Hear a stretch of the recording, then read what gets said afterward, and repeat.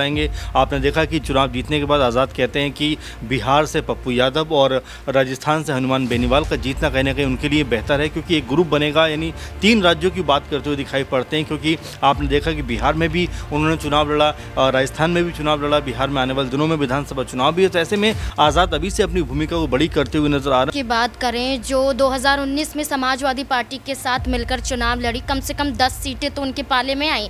लेकिन इस बार के चुनाव में देखिए कि खाता भी नहीं खोल पाती हैं। बहुत बुरी हार यहाँ पर मायावती को झेलनी पड़ सक पड़ती हुई नज़र आई, जिसमें कहीं ना कहीं मायावती का हाथ ही माना जा रहा है। मायावती के वो फैसले जो ना सिर्फ़ उत्तर प्रदेश में दलितों को पसंद आए, बल्कि उनकी पार्टी के कई ऐसे सांसद मौजूद नज़र आए, कई ऐसे कार्यकर्ता, कई ऐसे नेता जो नाराज़ मायावती से साफ़ तौर पर दिखाई दिए, जैसे कि अपने ही भतीजे को यहाँ पर उत्तराधिकारी पद पर पहले बैठाना, फिर नमस्कार नेक्स्ट नाइन न्यूज़ देख रहे हैं आप। मैं हूँ आपके साथ तनुज दीक्षित। तो लोकसभा चुनाव 2024 का परिणाम आने के बाद सभी को चौंका दिया। दरअसल उत्तर प्रदेश में भारतीय जनता पार्टी को समाजवादी पार्टी ने बुरी तरह से हराया है। क्योंकि समाजवादी पार्टी के खाते में सैंतीस सीटें जाती दिखाई दी तो वहीं बीजेपी के खाते में तैंतीस सीटें। वहीं बात अगर नगीना सीट की करी जाए तो चंद्रशेखर आज़ाद ने एक लाख पैंतालीस हज़ार वोटों के साथ यहाँ से जीत दर्ज करी है। और बीएसपी के खाते में उत्तर प्रदेश में एक भी सीट नहीं गई है। अब ये चर्चाएँ तेज हो गई हैं कि बी पार्टी चंद्रशेखर आज़ाद को उत्तराधिकारी बना सकते हैं कि आप हमारी पार्टी में आ जाइए और हमारी पार्टी की बागडोर संभाल लीजिए और आप उत्तर उत्तराधिकारी पार्टी के बन जाइए। क्या कुछ उत्तर प्रदेश में होने वाला है? बड़ा खेल उत्तर प्रदेश में होने वाला है, ऐसी संभावनाएँ देखी जा रही हैं। हमारे सहयोगी अमन सर से बातचीत करेंगे। अमन सर, क्या स्थिति आपको दिखाई दे रही है? क्योंकि बीएसपी ने एक भी सीट उत्तर प्रदेश के अंदर नहीं जीती है और चंद्रशेखर आज़ाद एक लाख पैंतालीस हज़ार वोटों के साथ नगीना सीट से जीत दर्ज करते नज़र आते हैं। बागडोर संभालने की उम्मीद, जो लगाई जा रही है कि बीएसपी पार्टी की बागडोर अब चंद्रशेखर आज़ाद संभालेंगे। दलितों का साथ उनको मिलता दिखाई दे रहा है। क्या कहेंगे देखिए, मुझे तो ऐसा लगता है कि जो उगता हुआ सूरज होता है, उसको सब नमस्कार करते हैं। इन्हीं आज़ाद के बारे में बीएसपी के कई नेता कहते थे, कौन आज़ाद? कहाँ के आज़ाद? हम नहीं जानते।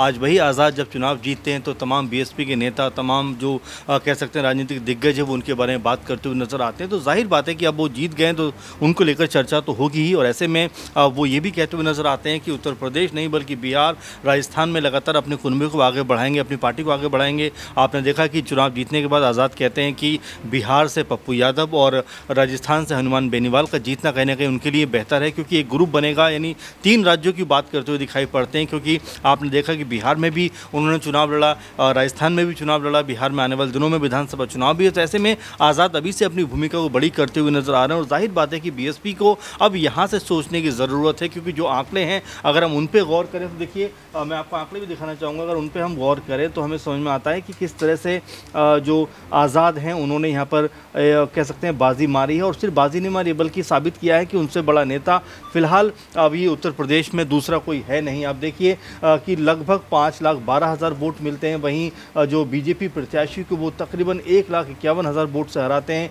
और बीएसपी के प्रत्याशी को महज तीन तेरह हज़ार वोट मिलते हैं। तो ये बताता है कि अब जो चंद्रशेखर आज़ाद हैं, ये बीएसपी का जो वोट बैंक है, उसको अपने कब्ज़े में लेते हुए नज़र आ रहे हैं। और यही बात है कि जब आप दूसरा वोट बैंक आपकी तरफ़ आ जाए तो आप ये मानकर चलिए कि न सिर्फ़ आपको, बल्कि आपकी पार्टी को भी अब लोग सिरच लेना शुरू कर चुके हैं। जी, वाकई में यहाँ पर देखना दिलचस्प हुआ कि अब चंद्रशेखर आज़ाद या फिर आकाश आनंद, क्योंकि दो बड़े नेता उत्तर प्रदेश में देखे जाते हैं। अब दलितों के चेहरे में युवाओं के तौर पर मायावती किसको ज़िम्मेदारी देती नज़र आती है? अगला सवाल मेरी सहयोगी नाजमीन से लेंगे नाजमीन, चंद्रशेखर आज़ाद या फिर आकाश आनंद? किसको मायावती ज़िम्मेदारी देती नज़र आएँगी? क्योंकि बीएसपी पार्टी की हालत बहुत ज़्यादा कमज़ोर नज़र आ रही है। देखिए, बहुजन समाज पार्टी की बात करें, जो 2019 में समाजवादी पार्टी के साथ मिलकर चुनाव लड़ी, कम से कम 10 सीटें तो उनके पाले में आई। लेकिन इस बार के चुनाव में देखिए कि खाता भी नहीं खोल पाती हैं। बहुत बुरी हार यहाँ पर मायावती को झेलनी पड़ सक पड़ती हुई नज़र आई, जिसमें कहीं ना कहीं मायावती का हाथ ही माना जा रहा है। मायावती के वो फैसले, जो ना सिर्फ़ उत्तर प्रदेश में दलितों को पसंद आए, बल्कि उनकी पार्टी के कई ऐसे सांसद मौजूद नज़र आए, कई ऐसे कार्यकर्ता, कई ऐसे नेता, जो नाराज़ मायावती मायावती से साफ़ तौर पर दिखाई दिए, जैसे कि अपने ही भतीजे को यहाँ पर उत्तराधिकारी पद पर पहले बैठाना, फिर हटाना, वहीं चंद्रशेखर आज़ाद बार बार मायावती का साथ देते हुए नज़र आ रहे थे, लेकिन मायावती ने साफ़ कर दिया था, ना कि सपा के साथ जाऊँगी, ना ही मैं बीजेपी के साथ जाऊँगी, और ना ही मैं किसी और दल के साथ चुनाव लड़ती हुई नज़र आऊँगी। लेकिन जैसा कि यहाँ पर हमारे वरिष्ठ सहयोगी अमन सर ने भी दावा किया कि नगीना में चंद्रशेखर आज़ाद ने किस तरीके से बहुमत हासिल किया, और बसपा कहाँ पर नज़र नज़र आई। चौथे नंबर पर बसपा का प्रत्याशी नज़र आता है, जिसमें कहीं ना कहीं मायावती का फैक्टर काम नहीं किया गया। यहाँ पर दावा किया जा रहा था चंद्रशेखर आज़ाद के ज़रिए, जब नगीना सीट पर वो खुद प्रत्याशी के रूप में उतरते हुए नज़र आए और उसके बाद यहाँ पर उतार दिए जाते हैं मायावती के प्रत्याशी। तो चंद्रशेखर आज़ाद ने एक बात कही थी कि मायावती खुद उनके रास्ते खोल रही है, नगीना में और नगीना के लिए ही नहीं, बल्कि पूरे उत्तर प्रदेश में चंद्रशेखर आज़ाद के लिए रास्ता बनाने का काम मायावती अंदर खाने से कर रही है। तो हो सकता है कि मायावती ने जिस तरीके से अपने प्रत्याशी को उतारा जो क्षेत्र से बिल्कुल अलग आते हैं।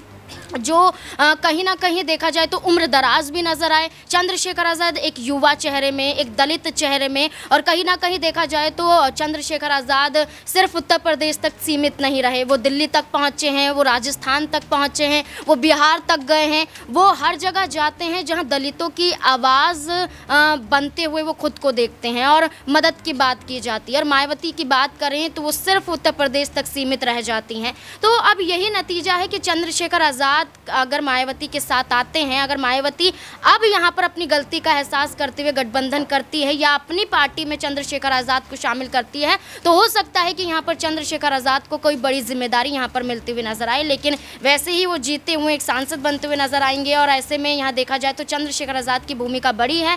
अब ऐसे में मायावती क्या फैसला लेगी, इस पर देखना होगा। जी वाकई में देखते हैं कि आखिरकार मायावती क्या फैसला लेंगे। मैं आपको बता दूँ, दूसरी तरफ़ चर्चा ये भी हो रही है कि चंद्रशेखर आज़ाद एनडीए का दामन भी थाम सकते हैं, क्योंकि एक सीट देखिए भले ही उनके पास है उत्तर प्रदेश में, लेकिन ये बात गारंटी के साथ सब लोग कहते नज़र आ रहे हैं कि चंद्रशेखर आज़ाद अगर अपनी पार्टी से और उम्मीदवारों को दूसरी सीट से उतारते तो शायद वो जीत दर्ज करते नज़र आते अगला सवाल मेरे सहयोगी दिनेश से लेंगे। दिनेश, क्या स्थिति आपको यहाँ पर दिखाई दे रही है? अगर चंद्रशेखर आज़ाद और सीट पर अपने कैंडिडेट उतारते तो क्या वो जीत दर्ज कर पाते या फिर नगीना सीट पर ही जो परचम लहराया गया वही लहर पाता। देखिए अभी देखा जाए तो राज, राजनीति में चंद्रशेखर रावण की जो करियर की शुरुआत है, वो महज एक शुरुआत है और बिना किसी पॉलिटिकल बैकग्राउंड के होते हुए, बिना किसी स्ट्रॉन्ग अप्रोच के होते हुए उन्होंने जिस तरीके से इस पूरे चुनाव में अपने आप को नगीना सीट पर डोमिनेट किया है, वो वाकई में एक अच्छे खासे यहाँ पर जो है सधे हुए राजनेता के तौर पर पेश आए हैं और जिस तरीके से जो पूरे चुनावी समीकरण को उन्होंने ध्यान में रखते हुए अपने कार्यकर्ताओं में जिस जोश का यहाँ पर उत्साह का वर्धन किया, उन्होंने वो वाकई में दिलचस्प था देखने को क्योंकि समाजवादी पार्टी भी यहाँ कमज़ोर नहीं थी और दलित मुस्लिम वोट बैंक की बात की जाए तो नगीना सीट पर एक निर्णायक भूमिका में था। तो ऐसे में चंद्रशेखर आज़ाद ने ज़मीन पर उतरे, उन्होंने मेहनत की, तमाम लाठियाँ खाई, डंडे खाए, उन्होंने कहा कि यहाँ खोने के लिए मेरे पास कुछ भी नहीं है और इसके साथ साथ इमोशनल अटैचमेंट अपनी कम्युनिटी के लोगों के साथ लेते हुए नज़र आए। उन्होंने कहा कि मुझे कुछ नहीं चाहिए, आपके पास जो संवैधानिक ताकत है, जिन लोगों को आपने पिछले पचास सालों में उस ताकत का इस्तेमाल करने का, प्रयोग करने का मौका दिया, वो आपकी आवाज़ नहीं उठा पाए। अब की बार मैं आपसे वो ताकत जो है मांगने की अपील करता हूँ और यदि आप मुझे वो ताकत देते हैं तो मैं आपकी आवाज़ को संसद तक पहुँचाने का काम करूँगा। तो एक तरीके से ये कहें कि ज़मीनी स्तर से जुड़े हुए नेता के रूप में यहाँ पर चंद्रशेखर आज़ाद यहाँ पर पेश आए और मुझे नहीं लगता कि अभी तो चंद्रशेखर आज़ाद को कई और सीटें यदि वो प्रत्याशियों को उतारते यहाँ पर मैदान में तो जीत हासिल होती। फ़िलहाल उनका फोकस जो है नगीना सीट पर ही था। जी, वाकई में फ़िलहाल उनका जो फोकस है वो नगीना सीट पर ही है। अब देखना है, दिलचस्प होगा कि आखिरकार क्या स्थिति यहाँ पर देखने को मिलेगी, क्योंकि चंद्रशेखर आज़ाद ने देखिए तकरीबन एक लाख पचास हज़ार वोटों से वहाँ से जीत दर्ज करी है और बीएसपी पार्टी ने एक भी सीट अपने खाते में नहीं ला पाई है। ऐसे में बीएसपी के पास कोई दूसरा ऑप्शन नहीं बचता है, क्योंकि बात अगर आकाश आनंद की करी जाए तो आकाश आनंद को भी मायावती ने देखी, उनका जो उत्तराधिकारी का पद था, उससे उनको हटा दिया। आकाश आनंद को, आकाश आनंद उभर कर निकल कर सामने आ रहे थे तो उन्हें भी रोक दिया गया। वैसे में क्या मायावती चंद्रशेखर आज़ाद का हाथ थामेंगी, या फिर नहीं? ये देखना बहुत ज़्यादा दिलचस्प होगा। वहीं दूसरी तरफ़ जो चर्चा हो रही है कि चंद्रशेखर आज़ाद एनडीए में शामिल हो सकते हैं, ये भी बहुत सोचने वाली बात है कि आखिरकार चंद्रशेखर आज़ाद अब क्या फैसला लेने वाले हैं। खैर, आपको क्या कुछ लगता है, कमेंट बॉक्स में ज़रूर बताइएगा। तब तक के लिए बने रहे हमारे साथ नेक्स्ट नाइन न्यूज़ पर।